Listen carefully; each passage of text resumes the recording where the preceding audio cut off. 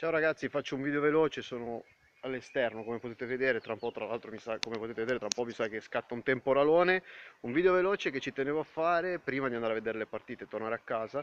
e vedere le partite per la lotta a salvezza, ci tenevo, sapete quanto a cuore il settore giovanile, la Juventus vince il McDonald's Tournament a Parigi,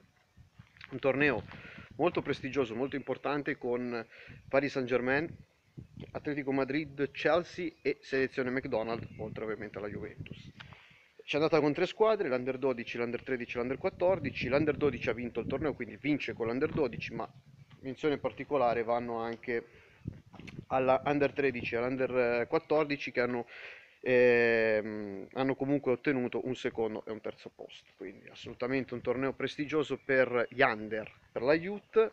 e da segnalare che la finale poi dell'Under 12, quella che ha consegnato il trofeo alla compagine bianconera, è finita 4-2 calci di rigore dopo l'1-1 dei tempi regolamentari. Il gol dei tempi regolamentari l'ha segnato il figlio di Pepe. E insomma,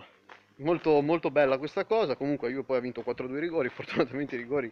ogni tanto vinciamo, non perdiamo e basta. E dunque la Juventus vince questo trofeo internazionale molto prestigioso per quanto riguarda il settore giovanile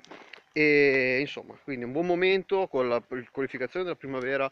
alla fase finale, cosa che non, ai playoff che sembrava una cosa impossibile fino a tre settimane fa, con la Juventus Women primavera che si giocheranno la fase nazionale anche loro, l'Under 15 che è vero ha perso, ha perso 3-1 oggi a, a Milano ma ha tutte le carte in, te- in regola per poter ribaltare il risultato, con l'Under 16 che comunque si è piazzata bene a Ginevra,